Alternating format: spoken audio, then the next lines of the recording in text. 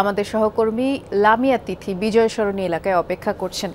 তিথি, ঠিক এই মুহূর্তে এই এলাকায় গরম কেমন অনুভূত হচ্ছে একটু জানাবেন? যারা অফিসগামী আছেন এবং শ্রমজীবীরা যারা আছেন, নিশ্চয়ই তো তাদের সাথে কথা বলেছেন। তাদের যে ভোগান্তির চিত্র সেটি জানাবেন। আরেকটি বিষয় জানতে চাচ্ছি, বেশ কিছুদিন যাবতই লক্ষ্য করা যাচ্ছে যে ব্যক্তিগত উদ্যোগেও পানি বিতরণ, ছাতা বিতরণ কর্মসূচি চলছে। সেরকম কিছু আজ চোখে পড়ল কিনা? সিলন ফ্যামিলি ব্লেন্ডের কড়ালিকার আর সতেজ সাদের পারফেক্ট ব্লেন্ডে স্বপ্নেরা মেলুক টানা। বৃষ্টি, ধন্যবাদ আপনাকে।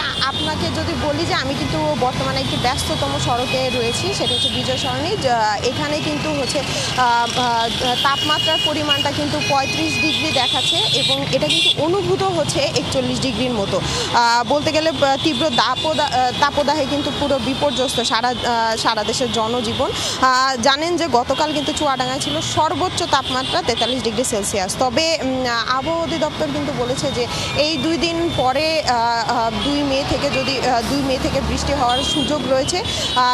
যদি সেই বৃষ্টি হয় তাহলে কিছুটা রাজধানী সহ সারা দেশ একটু ঠান্ডা হবে। তাছাড়া কিন্তু আবহাওয়া অধিদপ্তর এটাও জানিয়েছে যে এল নিনোর কারণে প্রভাবের কারণেই কিন্তু বর্তমানে আবহাওয়া পরিস্থিতির অবস্থা এরকম। আর বাতাসে জলীয় বাষ্পের উপস্থিতি ক্রমশ বাড়ার কারণেই কিন্তু গরমের তীব্রতা বৃদ্ধি পাচ্ছে। আর যদি বলি যে হচ্ছে যান্ত্রিকা এই শহরে হচ্ছে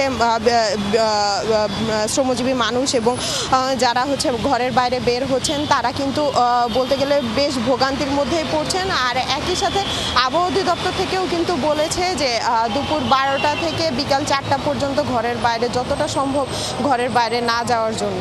বৃষ্টি। ধন্যবাদ, আমরা শুনছিলাম তিথি, নিরাপদে থাকবেন আপনিও।